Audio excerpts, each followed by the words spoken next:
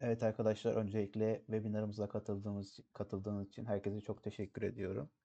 Ben burada toplantıya nasıl katılacağınızı bilmeyenler için bir video hazırladım. Bu toplantıya katılımını nasıl gerçekleştireceğini anlatacağım.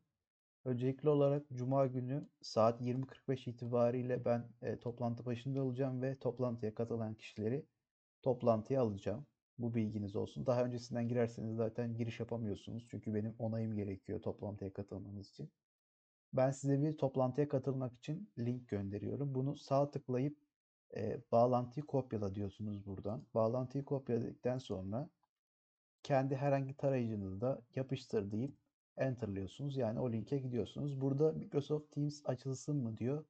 Biz burada hayır diyoruz. Çünkü hiçbir şekilde e, indirip yüklemeye gerek yok. Bu tarayıcıda devam et seçeneği var. Buna bastık. Bu açılıyor şimdi. Şekilde üye olmanıza falan gerekmiyor arkadaşlar. Evet. Şu an ben ismimi yazdığım için ismim gözüküyor. Evet şu anda ekran da geldi. Burada siz de kendi adınızı buraya yazarak işte adınız neyse adınızı yazdıktan sonra kamera veya mikrofon o tercih size bağlı. Şimdi katıl diyorsunuz. Daha sonra siz burada şimdi katıla bastıktan sonra bana bildirim düşüyor. Ben bildirimden sizi onaylıyorum ve toplantıya katılıyorsunuz arkadaşlar.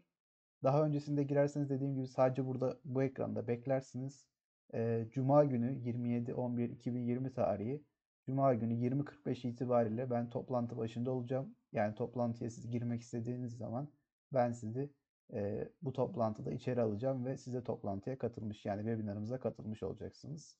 Herkesi bekliyorum katılıma. Bu videoda e, toplantıya katılmayı bilmeyenler için hazırladım. Örnek olması açısından. Siz de kendi adınızı yazarak giriş yapabilirsiniz. Kendinize iyi bakın. Cuma günü görüşmek üzere. Hoşçakalın.